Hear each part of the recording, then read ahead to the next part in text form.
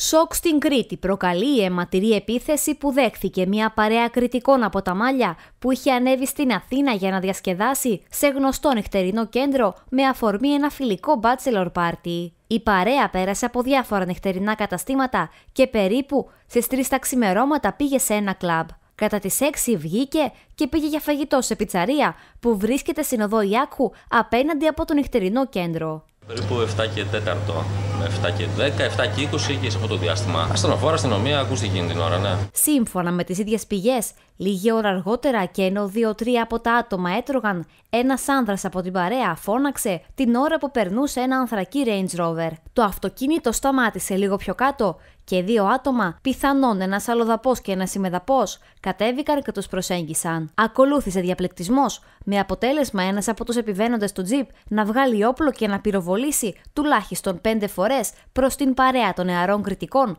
με αποτέλεσμα να τραυματιστούν τρεις και ένας εκ των οποίων να δεχθεί σφαίρα στο κεφάλι. Αμέσως μετά από την αιματηρή επίθεση, οι επιβαίνοντες στο τζιπ έγιναν καπνός, φεύγοντας από το σημείο με μεγάλη ταχύτητα. Βγήκα έξω να δω και μετά ξαναμπήκα μέσα.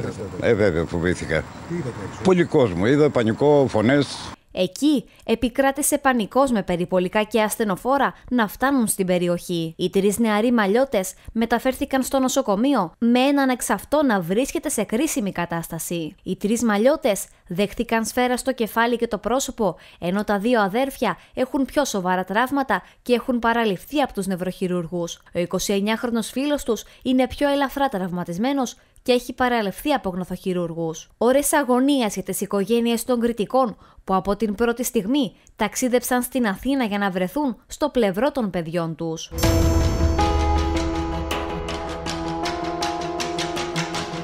Η τοπική κοινωνία των Μαλίων δηλώνει συγκλονισμένη μετά από αυτό το συμβάν το οποίο οδήγησε στον τραυματισμό τριών ατόμων.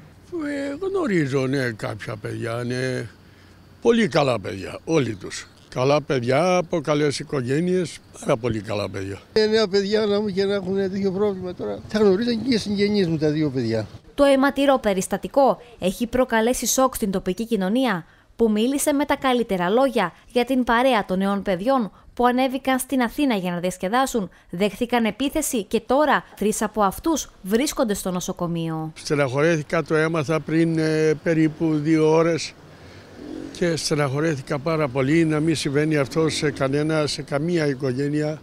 Λυπάμαι πάρα πολύ, δεν ξέρω τι ακριβώς συνέβηκε.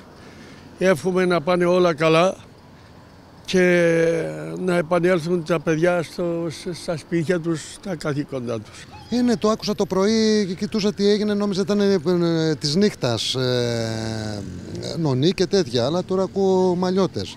Τώρα τι παίχτηκε κάθε τρεις και λίγο ακούμε τέτοια να γίνονται.